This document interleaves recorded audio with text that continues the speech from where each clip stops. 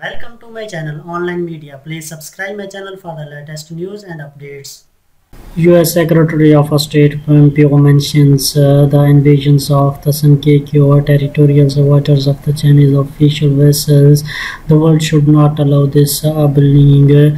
U.S. Secretary of the State Mike Pompeo issued a strong warning of the China expansions of the military uh, uh, hegemony. He took up the territorial invasions of waters around the Okinawa and the Senkaku Islands and his foray into the South China Sea and called for the need for all countries to the unanimously confront each other.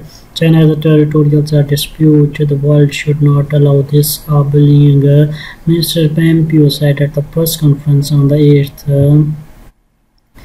However, the Senkaku Islands are the territory unique to Japan and there are no territorial uh, disputes. Uh, Pompeo also pointed out the border disputes such as the casualty that uh, occurred the last month in the disputed area with India since there are not many neighbors who can be satisfied if China respects uh, sovereignty. The world responds uh, to this uh, movement.